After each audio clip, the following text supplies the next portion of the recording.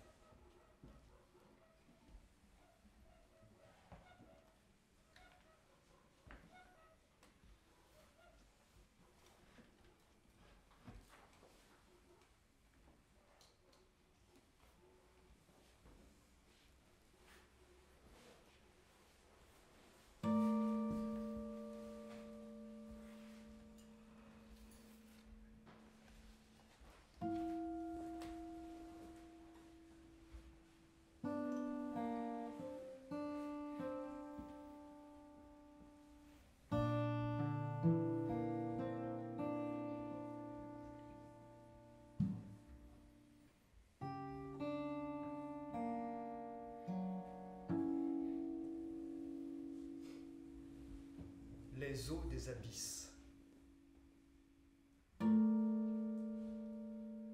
L'embouchure du fleuve.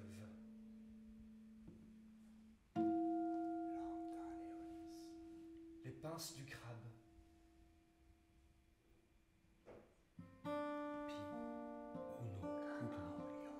La boucle de la crinière du lion.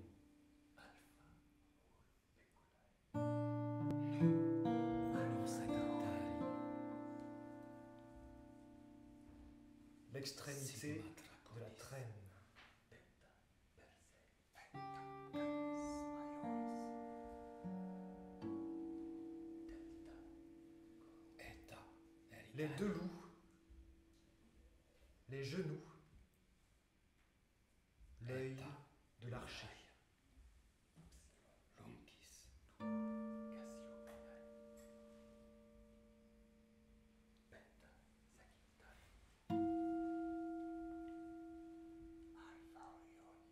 Le bout de la rivière. La croix. Les cerfs.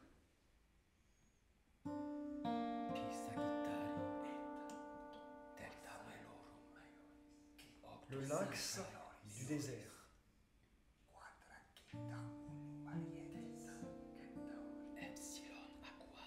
Le museau de Pégase. Le coin du chien qui aboie. Les talons de l'aigle.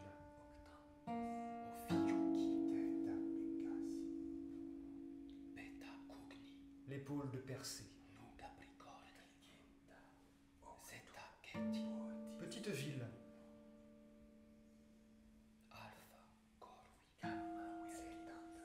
Le chef.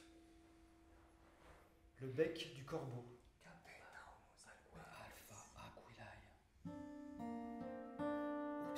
Le cavalier. L'une des sept sœurs Pléiades.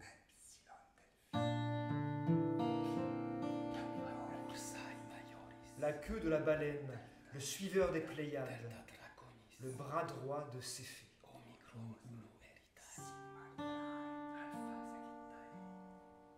Garçon. Le baudrier d'Orion. Le front du lion. La tête de l'ogre.